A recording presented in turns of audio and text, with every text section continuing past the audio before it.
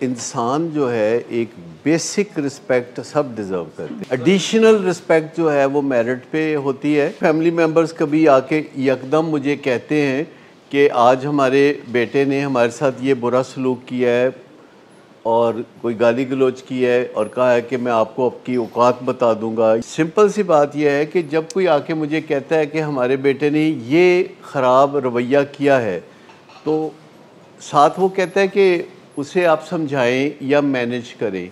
तो हम बताते हैं कि हम आपके एक एक रवैया जो घर में पेशेंट करता है, आपके साथ बुरा, उसको समझाने बैठे तो उससे बेहतर है कि हम आप ही को समझा दें कि कैसे मैनेज करना है अपने बच्चों को।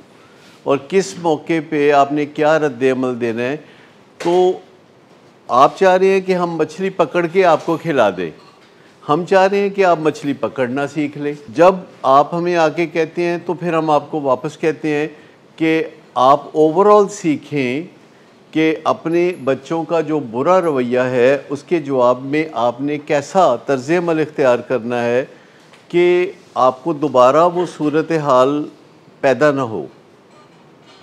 और ये ओवरऑल कोई ना कोई आपके पास एक तरीक़ेकार होना चाहिए कि जब भी आपका बच्चा कोई या फैमिली मेंबर आपके साथ किसी किस्म की ज़्यादती या बेइज्जती करता है तो आप रद्दमल देने की बजाय उसका वो तरीका इस्तेमाल करें कि आइंदा से वो बदल जाए। आप अपने तरीके सीख लें कि जिससे कि आप उसको मैनेज कर सकें। जैसे अनमोल माँ है तो उसमें तरीके बताए हुए हैं कि जब आपका बेटा कोई ऐसा काम करता है जो आपको काबिल कबूल नहीं है तो आप गिला शिकवा या उसको समझाना चाहते हैं, उसको नज़र षानी के लिए कहना चाहते हैं तो उसके ये तीन स्टेप हैं। पहले बताएँ कि उसने क्या गलत किया, फिर बताएँ कि आपको कैसा महसूस हुआ, फिर आप उसे बताएँ कि बाकी दीगर मामला इस वक्त ज़ेर बहस नहीं हैं। और वो उस पर मैं आपकी जो ओनरशिप है या जो आपका मेरे साथ रिश्ता है, उसको मैं बहुत चेरिश करता हूँ, बहुत पसंद करता हूँ। यानी जो आपका मेरे साथ रिश्ता है, वो मैं बहुत इंजॉय करता हूँ और उसको एक्नॉलेज करता हूँ कि आप मेरे प्यारे बेटे हैं, मेरा असासा है। लेकिन ये जो आप कहते हैं कि मैं तुम्हें तुम्हारी औकात बता दूँगा, माँ को या बाप को ये बात बहुत नाकबिल कबूल है और मेरे लिए तकलीफ़ दे है। इस बात से हट के अभी मुझे और शिकवा, इस वक्त आपसे कोई नहीं है और फिर आप गले लगा लें तो ये तरीक़ेकार है। शाबाश देनी हो तो तब भी बताएँ कि ये काम आपने अच्छा किया है। और इस पर मैं बहुत खुश हूँ। और आप मेरा असासा है, मैं आप पे फ़ख्र करती हूँ। अपने इस अच्छे रवैये को दोहराते रहो, करते रहो। वालिद के लिए भी ऐसे ही अनमोल बाप का जो किताबचा है, या अनमोल मैनेजर के मीठे बोल, या किताबचा मियाँ बीबी लड़ते क्यों हैं तो उनमें सब में ये की वाइटल पॉइंट्स आपको बताए जाते हैं।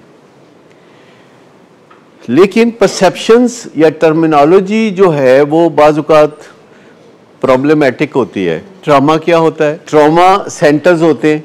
जहाँ के सड़कों पे जो हादसे होते हैं और उनमें जो लोग ज़ख्मी होते हैं, वो ट्रामा सेंटर में आते हैं तो उनको सर्जिकल ऑपरेशंस के ज़रिए इलाज मुहैया किया जाता है।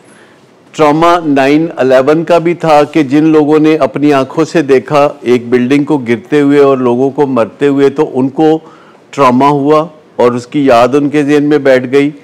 आज़ाद कश्मीर में जल्जला आया तो बहुत से लोगों को मरते हुए देखा trauma is an emotional response to a terrible event like an accident crime natural disaster physical और emotional abuse neglect experiencing or witnessing violence, death of a loved one, war and more. Trauma एक रात willing veg में रहना नहीं होता। Trauma होता है जब नशे में बंदा सड़क पे एक्सीडेंट करता है और गाड़ी उलट जाती है।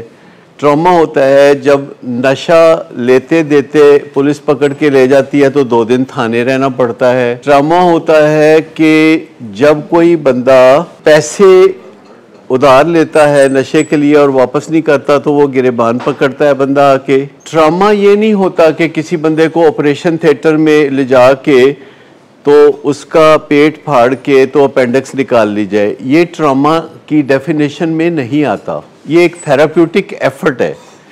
अगर किसी बंदे को पिता निकाल दिया जाता है बाज़ात होश में किसी बंदे को कोई जिसम पे ऑपरेशन किया जाता है लोकल के तहत, और वो देख रहा होता है तो ये ट्रामा नहीं होता।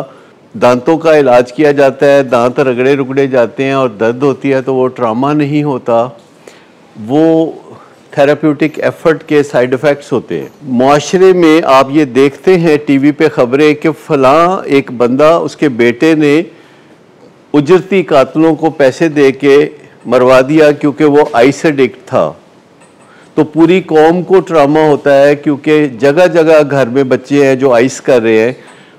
और वो 22-24 साल का बच्चा जो अपने वालिद को जिसने पहले आठ महीने पहले हमला कराया, पचास लाख दे के उजरती कातलों को, लेकिन वो हमले में बच गए फादर, और अब उसने नए सिरे से कुछ और पैसे जमा किए अपने अब्बा की नेक कमाई में से। और दो करोड़ दे के उसने हमला कराया और वो ऑन दी स्पॉट उनकी डेथ हो गई। और अब वो एक थाने में दिन रात रोता है कि मैनू माफ़ कर दो मैनू माफ़ कर दो वालिद को कहा कि मेरी गर्लफ्रेंड के लिए मुझे एक गाड़ी चाहिए तेरह करोड़ की, जो कि मैंने उसको तोहफे में देनी है। और वालद ने बुरा भला कहा होगा। इसका अंदाज़ा है कि बेस्ती वस्ती की होगी। और उसके बाद गाड़ी ख़रीद भी दी और अपनी बीवी को कहा कि मैं इसको सालगिरह के मौके पे एक सरप्राइज़ गिफ्ट दूँगा जो कि अपने गर्लफ्रेंड को ये गाड़ी दे दे। इस दर्जे की जो अनेबलिंग है तो इसी दर्जे की प्रवोकिंग भी होती होगी। और अक्सर वालदेन हमें बताते हैं कि नशा करके बंदे को तकरीबन होश नहीं होता और वो गिरबान माँ बाप का भी पकड़ता है। ये माँ बाप को होता है ट्रामा ट्रामा सोसाइटी को होता है सोसाइटी में लोग घबराते हैं कि हमारे बच्चे भी इस राह पे ना कहीं चल पड़े। यूनिवर्सिटियों में जिस हद तक नशे का अमल दखल शुरू हो चुका है तो बच्चों को यूनिवर्सिटी भेज के घर वाले सोचते रहते हैं कि कहीं हमारा बच्चा तालीम की बजाय ये तो नहीं सीखेगा, नशा करना। चुनाचे किसी भी लफ्ज़ का जो इस्तेमाल है, वो ज़रा सोच समझ के करना चाहिए। इत्तेफाक से जो साहब मर्डर हुए हैं, उनका एक हॉस्पिटल था, बल्कि कई हॉस्पिटल थे, वो एक बड़े माने हुए मुंतज़िम थे। पूरी दुनिया में जो लोग बाहर जाते हैं, मुलाजमत के लिए या वीज़े की गर्ज से तो उनका जो टेस्टिंग होती है, वो उनकी लेबॉर्ट्री की अप्रूव थी। बहुत सारे लोग जो हैं, उनको कहते थे कि आपका बच्चा ये बातें करता है। तो वो कहते थे, नहीं, ऐसे ही करता है, कोई मसला नहीं होगा। जो डिलूजनल थिंकिंग होती है, वो जो डिनाइल वाली थिंकिंग होती है, वो चल रही थी और लोग उनको समझा रहे थे और उन्होंने घर की बात को कभी बाहर नहीं निकाला था। कभी उस बच्चे का किसी साइकोलॉजिस्ट या किसी भी नशे का इलाज करने वाले या सेकेट्रिस्ट के साथ रबता नहीं हुआ था। हालाँकि उनके हस्पताल में कई स्पेशलिस्ट काम करते हैं, जो मेरे जानने वाले हैं, जिन्होंने मुझे सारी डिटेल्स बताई हैं, ये उनके अस्पताल में 25-25 साल से काम करने वाले स्पेशलिस्ट ने बताई है कि उनके हालात क्या थे। और एक बंदा जो दो मरले के घर से, जिसने अपने करियर का आगाज़ किया था, पाकिस्तान के कई शहरों में उनके हॉस्पिटल थे, उनके पास इतनी माली ताकत थी कि वो अपने बच्चे की ज़िद के ऊपर उसकी गर्लफ्रेंड के लिए 12-13 करोड़ की गाड़ी लेके देने के लिए तैयार थे और गाड़ी ऑर्डर हो चुकी थी और गाड़ी 10 तारीख को डिलीवर होनी थी। और उन्होंने अपनी वाइफ को कहा कि मैं सरप्राइज़ देना चाहता हूँ, इसको सरप्राइज़ गिफ्ट देना चाहता हूँ। एक दफ़ा किसी ने अपने घर बुलाया, दो एक दफ़ा मुझे मिलने आए, अपने बेटे के बारे में मशवरा कर रहे थे और फिर उन्होंने कहा कि डॉक्टर साहब, आप हमारे घर आए। और वो किसी ज़रिए से मेरे पास आए हुए थे तो मैंने कहा अच्छा मैं आ जाता हूँ। तो मैं जब उनके घर में दाखिल हो रहा था तो आगे एक एंबुलेंस खड़ी थी जिसकी बत्तियाँ जल बुझ रही थी। और उन साहब को लोग हाथों पाँव से उठा के तो एंबुलेंस में डाल रहे थे और उनकी नाक से खून बह रहा था।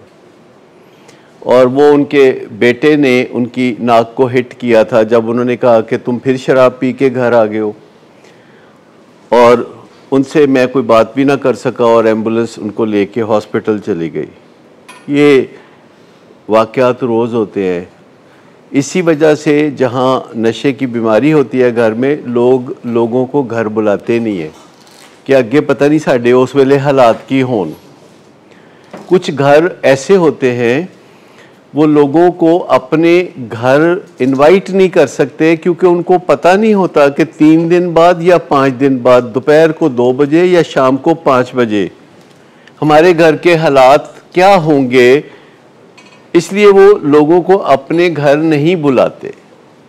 फिर वो लोगों के घर भी नहीं जाते, क्योंकि लोगों के घर जाएँगे तो फिर उनको बुलाना भी पड़ेगा। जब हमें नशे की बीमारी का सामना हो तो चंद बातें अच्छी तरह याद रखें। जब हमारे घर में नशे की बीमारी आ जाती है तो हमें बहुत कुछ सीखने की ज़रूरत है, जो हमें पता नहीं। जब हमारे घर में नशे की बीमारी आती है तो घर पहले जैसा नहीं रहेगा वहाँ कारकर्दगी सबकी ख़राब हो जाएगी। कभी आप उसको किसी मुसीबत से बचाएँगे, कभी किसी मुसीबत से बचाएँगे। आपके अजीज़ों कारब आपके उस बच्चे से डिस्टेंस करना शुरू कर देंगे। आप इस मामले को खुद ठीक नहीं कर सकते, वो बच्चा भी ठीक नहीं कर सकता। इसके लिए जो टेक्निकल हेल्प है, वो बाहर से लेनी पड़ेगी। वो कसरत से झूठ बोलेगा वो जुराइम की दुनिया में जा सकता है, वो कानून को हाथ में ले सकता है। इससे बड़ा कोई जुर्म क्या होगा कि अपने वालिद को तीन साल से वो मरवाने की कोशिश कर रहा था और वालिद डिनाइल में था, वालिद को पता था कि ये मुझे मरवाने की कोशिश कर रहा है। वो कहता, नहीं नहीं, एम कहता है इंज करेगा नहीं। आज मैं आपको ये बात बहुत क्लियरली बता दूँ कि अगर कोई बंदा आपको कोई धमकी देता है ऑलवेज उसे सच समझे। अगर कोई बंदा ये कहता है ना कि फिर मुझसे बुरा कोई नहीं होगा तो आप उसको बोले कि मैं आपकी बात मान लेता हूँ। आप दिल में उसकी बात को मान लें। अगर कोई बंदा कहता है कि मैं आपको नुकसान पहुंचाऊँगा तो आप सरफेस वैल्यू पे इस बात को मान लें। अगर कोई कहता है ना, मैं अपने आप को नुकसान पहुंचाऊँगा ये बात भी मान लें। अगर कोई कहता है, मैं घर से चला जाऊँगा ये बात भी मान लें, अगर कोई औरत कहती है कि मैं मैके जा रही हूँ और मैं नहीं बसना चाहती, आपके साथ आप उसकी ये बात मान लें। चे जाए कि आप इंटरवेंशन करें, जो कोई भी कोई कहता है, वो उसके दिमाग में पहले बहुत अरसा चल रहा होता है तो कहता है तो ये बच्चा तीन साल से कही जा रहा था अपने दोस्तों को, उसके जो दोस्त हैं, वो उसको समझाते भी थे। बात घर से बाहर ना निकालना, उससे बात घर में पलती रहती है और जुराइम जो है सामने आते हैं।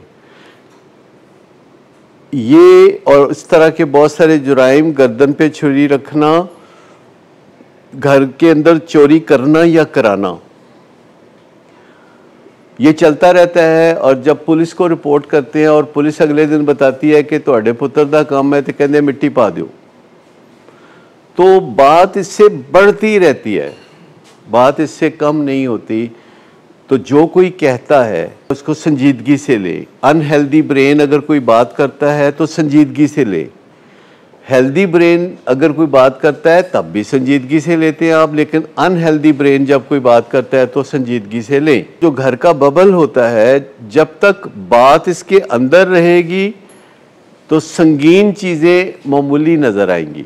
जब वही चीज़ें आप बाहर बयान करेंगे तो आपको उनकी संगीनी का एहसास होता है, लेकिन जो बंदा घर में कोई गलत काम कर रहा होता है और जिनके साथ ज्यादती हो रही होती है, वो भी चाहते हैं कि बात बाहर ना निकले, जिससे आप प्यार करते हैं, चाहे वो बेटा हो, चाहे वो बीवी हो, जिससे आप प्यार करते हैं, जिसे आप कई दफ़ा कह चुके हैं कि मैं तुमसे बहुत प्यार करता हूँ, उसको डिसिप्लिन करना सीखने का काम है, कर नहीं सकेंगे। ज़ाहिर है ये जिन डॉक्टर साहब के साथ ये हादसा हुआ है, वो कई ऑर्गेनाइजेशन चला रहे थे, स्कूल चला रहे थे, हॉस्पिटल चला रहे थे। तो उनको पता है कि निज़ाम कैसे चलाते हैं, उनको पता है कि मेरिट को अपहोल्ड करते हैं। लेकिन अपने घर के अंदर, अपने बच्चों के साथ, अपनी बीवी के साथ मेरिट पे चलना जो है, ये हैवी वेट है। ये सीखना पड़ता है। और जब आप सीखना शुरू करें तो it will take a long time कभी कभी आपको याद है जो हम कहते हैं कि ये बीमारी का इलाज शुरू होता है, ख़त्म नहीं होता तो आपको बहुत बुरा लगता है। तो यही कहते हैं कि ये जो आपका सीखने का मामला है, ये शुरू होता है, ये चलता रहता है, आपका मरीज़ बेहतर हो जाता है, वो नशा छोड़ देता है, उसकी शादी हो जाती है, उसके बच्चे हो जाते हैं, इलाज चलता रहेगा। वो कारोबार करने लगेगा, इलाज चलता रहेगा, वो टैक्स पे करने लगेगा, इलाज चलता रहेगा। कई दफ़ा लोग मुझे कहते हैं कि हम ऐसा करते हैं तो काम नहीं बनता तो मैं कहता हूँ कि फिर और अच्छे तरीके से करना सीखें। कहते और अच्छे तरीके से करते हैं तो काम नहीं बनता तो मैं कहता हूँ, और अच्छे तरीके से करना शुरू करें। कड़ाके निकल जाते हैं, उस बंदे के जो पचास साल से लोगों को नसीहतें कर रहा है, वाज कर रहा है, उसके कड़ाके निकल जाते हैं। उसको मुश्किल पेश आती है, वो एग्जॉस्ट हो जाता है। तो आप सोच लीजिए कि ये कितना मुश्किल काम है कि जिसको आप प्यार करते हैं, अगर आप प्यार करते हैं। अगर आप प्यार नहीं करते तो बच्चा स्ट्रीट पे चला जाता है। लेकिन अगर आप प्यार करते हैं तो वो घर पे रहता है और नशा करता है और आप उसे समझा नहीं पाते क्योंकि आप उससे प्यार करते हैं। और प्यार पहले करते हैं, ये मसाइल बाद में आते हैं। हमें पता नहीं होता कि जिस बंदे से हम प्यार करने लगे हैं, ये बाद में मसाइल पैदा करेगा। लोग अपनी बीवियों से प्यार करते हैं, जिनसे प्यार करते हैं, उनको बीवियाँ बनाते हैं, पर उनको पता नहीं होता कि ये बाद में ये हमें तंग करेंगी। लेकिन प्यार चूँकि पहले घर कर चुका होता है, बाद में बेबसी सामने आती है और फिर ये बहुत ज़्यादा सीखने का मामला है।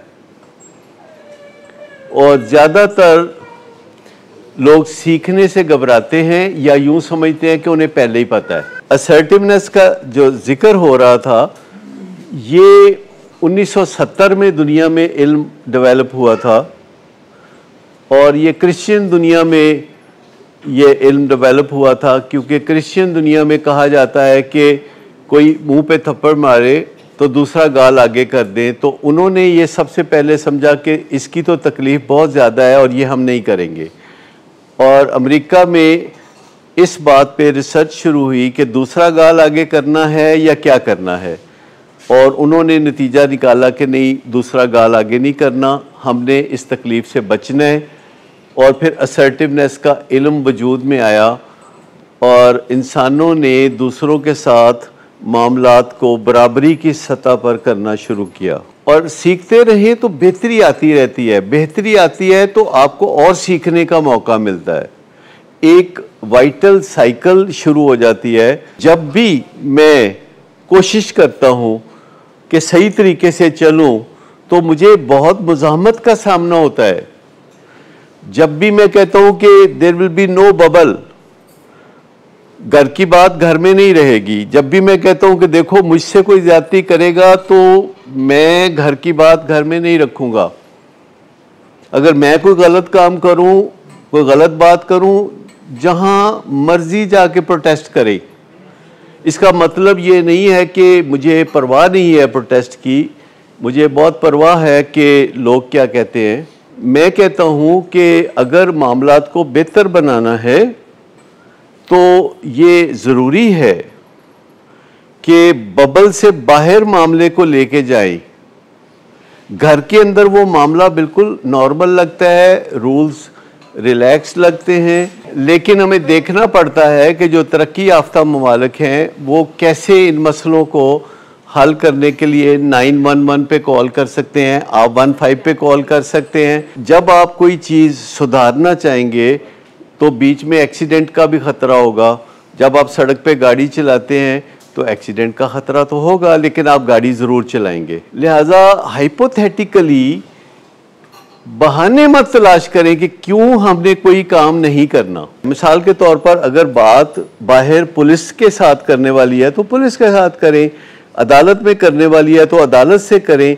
मामू से करने वाली है या फुफो से करने वाली है और उनसे मदद चाह रहे हैं तो उनसे करें। या फैमिली में कोई सियाना बंदा है तो उसके साथ करें। मोहल्ले में कोई सियाना बंदा है तो उसके साथ करें। बात बाहर करने का मतलब ये नहीं कि रेड लाइट पे रुकें और दरवाज़ा कोई ठुक ठुक करे, शीशा तो जो बंदा भी हो तो उसके साथ बात करें। ऐसी कोई ज़रूरत नहीं है रेलेवेंट पर्सन से बात करें। लोग क्या करते हैं कि अगर बीवी कहे कि मैं जा रही हूँ तो दफ़ा हो, मेरी जान छूट जाएगी तेरे तो। या बेटा कहता है कि मैं जा रहा हूँ तो वालद उसको कहता है कि दोबारा शक्ल मत दिखाना, मैं तो दुनिया पे आ जाऊँगा तुम्हारे जाने से। इसको हम पार्टिंग किक कहते हैं। पार्टिंग किक का मतलब होता है कि जुदाई के वक्त दुलत्ती मारना। पार्टिंग किक ये होती है, जुदाई होने वाली है और आप एक उसको किक भी लगा दें। जॉब पे भी अगर कोई बंदा कहता है कि मैं जॉब छोड़ के जाना चाहता हूँ, आप उसे ये नहीं कहते कि तुम दफ़ा हो जाओ। आप उसे कहते हैं कि सोच समझ लो कुछ बेहतर रास्ता अख्तियार कर सकते हो तो करो, लेकिन जब तुम जाने की बात करते हो तो हम सोचते हैं कि तुम आउटसाइडर होने जा रहे हो। जब भी कोई बीवी जाने की बात करती है या बेटा जाने की बात करता है या भाई कहता है कि मैं अब आपकी ज़िंदगी से जा रहा हूँ तो आप ये मैसेज लेते हैं कि ये आउटसाइडर है। आपके अदारे से कोई जाने की बात करता है, इस्तीफ़ा पकड़ के आ जाता है किसी शिकायत से तो आप कहते हैं कि ये आउटसाइडर है। बात यह है कि मेरे पास कोई आता है कि भी मेरा ये इस्तीफ़ा है, क्योंकि मुझे फलां बंदे ने बुरा भला कहा है तो ये मेरा इस्तीफ़ा है तो मैं कहता हूँ अच्छा देखो यू आर एन आउटसाइडर तुमने इस्तीफ़ा दे दिया तो तुम आउटसाइडर हो गए वो इनसाइडर है तो मैं अब तुम्हारी क्या फेवर कर सकता हूँ, बता दो। लेकिन वो कई दफ़ा फिर मुझे कहता है कि अगर मैं इस्तीफ़ा वापस ले लूँ तो मैंने कहा, तुम इनसाइडर हो जाओगे और जब इस्तीफ़ा वापस लोगे और तुम इनसाइडर हो जाओगे तो मैं तुमसे बात करूँगा और तुम्हारी फेवर करूँगा।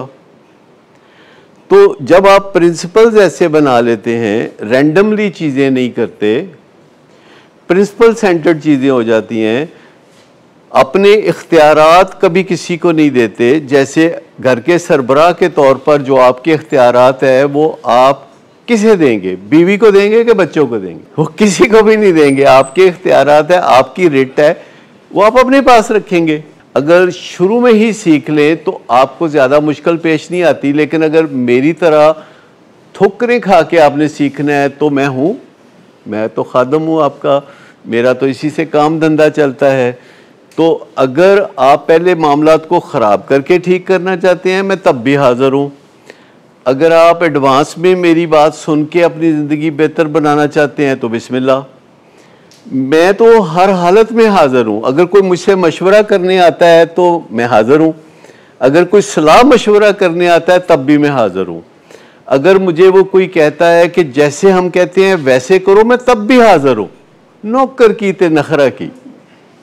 मेरा तो वही काम धंधा है। अगर मुझे कोई कहता है कि जैसे हम कहते हैं वैसे वैसे करी जाओ तो जैसे वो कहते हैं, मैं वैसे वैसे करी जाता हूँ।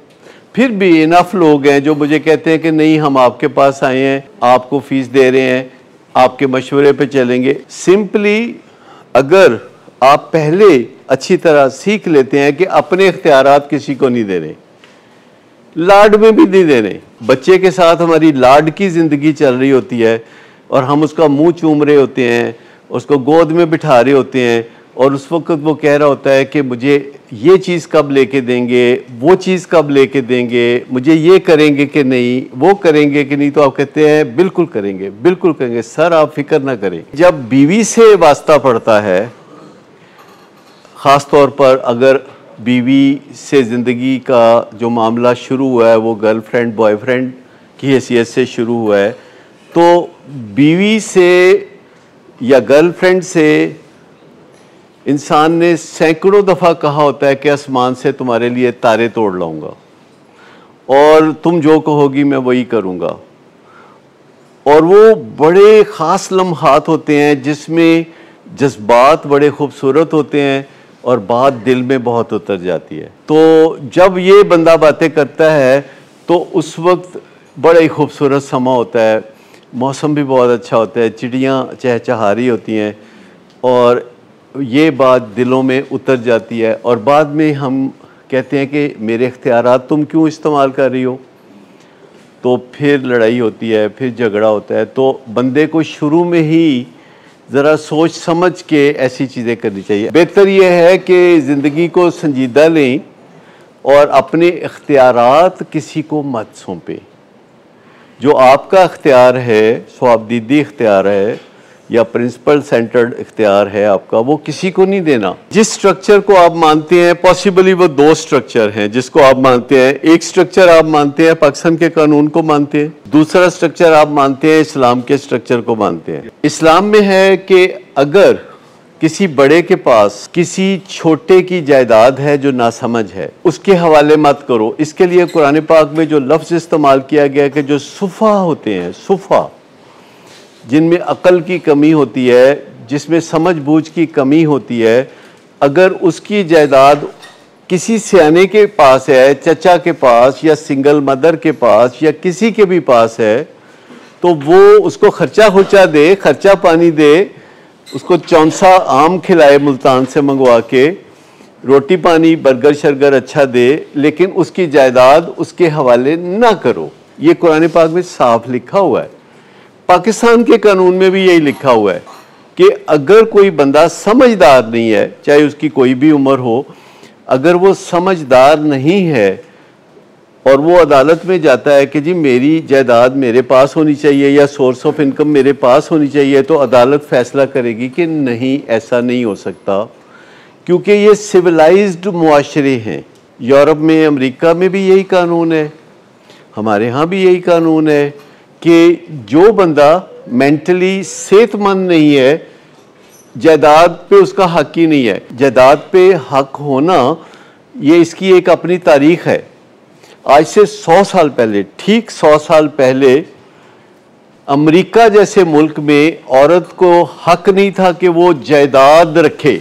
अमेरिका जैसे मुल्क में औरत का हक जायदाद नहीं था। तो फिर उन्होंने कानून को चेंज किया तो वो हक जायदाद किस बुनियाद पर नहीं था कि यूँ समझा जाता था, औरतें समझदार नहीं होती। फिर औरतों ने साबित किया कि नहीं, वो समझदार हैं। तो कानून बन गया कि नहीं, औरतों का जायदाद पे हक होगा और इस्लाम में भी औरतों का जायदाद पे हक है। जायदाद पे पूरा हक है, वरासत पे आधा हक है। इसका मतलब है कि यहाँ भी कोई थिंकिंग उस तरह की मौजूद है। चुनाचे किसी को साबित करना पड़ेगा कि मैं समझदार हूँ, मेरी जायदाद मेरे हवाले कर दी जाए।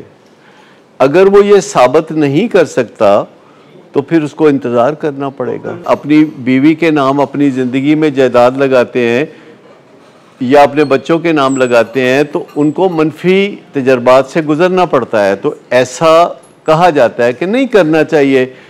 इस्लाम में भी यह है कि जब आप दुनिया से चले जाएँगे तो शरा के मुताबिक आपका वो तकसीम कर दिया जाएगा और हमारे कानून में भी यही है। आप में से कोई सोचता है कि वो सौ साल ज़िंदा रहना चाहता है तो उसकी ज़िंदगी में आइंदा क्या तब्दीलियाँ आएँगी? वो सेल्फ केयर में चला जाएगा, वो लड़ाई झगड़ों से एहतियात करेगा, वो ड्राइविंग अच्छी करेगा, वो घी वाली चीज़ें नहीं खाएगा, पराठे नहीं खाएगा वो वॉक करेगा, वो एक्सरसाइज करेगा, वो नींद पूरी करेगा, वो टेस्ट कराएगा, वो मेडिकल केयर में जाएगा, वो स्ट्रेस से बचेगा। हमारी जो डीप डाउन सोच होती है ना, उसके मुताबिक हमारी ज़िंदगी होती है। मैं एक बहुत बड़े आलम दीन के पास को 25 साल पहले इंटरव्यू करने गया डायबिटीज़ के मौजू पे, और मैं पूछ रहा था कि शुगर कंट्रोल कर दे हो कि नहीं, फलाना कर दे हो कि नहीं? वो मेरे सामने बैठ के पराठे खा रहे सन, अंडे खा रहे सन। तो उन्होंने कहा, डॉक्टर साहब, मैं प्रैक्टिकल आदमी नहीं हूँ, मैं फिक्री आदमी हूँ। अमली आदमी नहीं हूँ मैं कहा अल्लाह थोड़ा भला करे तो मुझे ये बताइए कि जब कोई बंदा पढ़ा लिखा हो के गालियाँ देता है और जिसके नतीजे में दूसरे हाथापाई करते हैं जैसे आप कहते हैं ना कि गालियाँ देने से ऐसे सब कट देने गाला तो जिन्हों तुम गाला कड्डियाँ सन ना वो कहता है सब बीवियों मार दे कुटते हैं मतलब हर बंदे के लिए वो नॉर्मल है जो कि वो करता है। वो कहते जी, सारे करते ने किसी बच्चे पूछो कहते सारे चर्च पीते ने। किसी पूछो कहते सारे सिगरेट पीते ने। तो हालाँकि सारे नहीं पीते। दुनिया में मेजॉरिटी भले मानसों की है, वो अच्छे अच्छे काम करते हैं, नौकरी करते हैं, कमा के लाते हैं, बच्चों को पालते हैं, वो ये सारे काम करते हैं। लेकिन गालियाँ देना और उस पर इसरार करना कि ये ठीक है। मेरा एक दोस्त है जो था दस पंद्रह साल से दोस्ती ख़त्म हो गई, मैंने ख़त्म कर दी। क्योंकि बचपन से मेरे वालदेन कहते थे कि इससे दोस्ती मत रखो। फिर मेरे भाइयों ने कहा कि इससे दोस्ती मत रखो। फिर बीवी बच्चों ने कहा, फिर मेरे क्लाइंट्स ने कहना शुरू कर दिया है तो के हो जाए दोस्त तो फिर मैंने उसे छोड़ दिया। वो मेरा जो दोस्त है, बेशुमार लोगों को रोज़गार कमाने के लायक बनाता रहा है। वो बीच में एक स्टेज पे 1985 में इंग्लैंड चला गया था तो वहाँ जाते ही उसने कुछ छः महीने में नेशनैलिटी ले ली। कई बंदे छः महीने से नेशनैलिटी ले लेते हैं। वो छः महीने में नेशनैलिटी ली और वहाँ उसने कारोबार ये किया कि जो लोग कोई जॉब शॉब नहीं करते, उनको जॉब दिला देना तो उनके फिर पैसे ले लेना बीच में और हर महीने थोड़े थोड़े पैसे लेते रहना उनके जॉब में से। पाकिस्तान में भी उन्होंने बेशुमार लोगों को रोज़गार पे लगाया। उनमें मैं भी शामिल हूँ। हमारा एक और दोस्त था जो नशे का मरीज़ बन गया और वो इलाज कराना चाहता था तो वो मेरे पास आया तो मैंने कहा, मेरा तो ये शोभा नहीं है, मैं नहीं कर सकता अभी नशे का इलाज।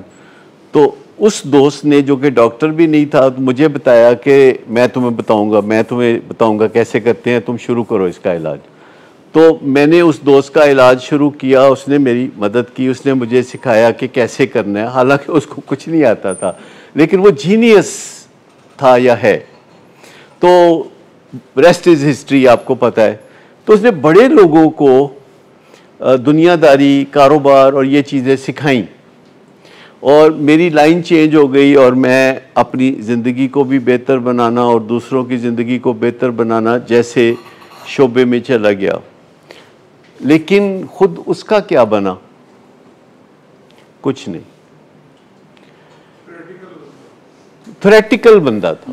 प्रैक्टिकल नहीं था। खुद अपने लिए कुछ नहीं करता था। कोई सेविंग नहीं करता था। कोई प्रॉपर कारोबार नहीं करना। जब चाहना ऐसे ऐसे पैसे बना लेना। जब चाहना कोई ना कोई करना, कुछ छुमंतर और कर लेना। तो जो प्रैक्टिकल आदमी होता है ना, वो ज़्यादा अच्छे काम करता है, जिसे हम प्रैग्मेटिक कहते हैं। एक होता है आइडियलिस्ट एक आइडियलिस्ट होता है, एक प्रैग्मेटिक होता है। आइडियलिस्ट वो होता है, कहते हैं, हर चीज़ आइडियल होनी चाहिए। जिस तरह जन्नत, वैसी दुनिया होनी चाहिए। एक बंदा कहते हैं, नहीं, दुनिया जन्नत नहीं हो सकती। आउट ऑफ़ क्वेश्चन है।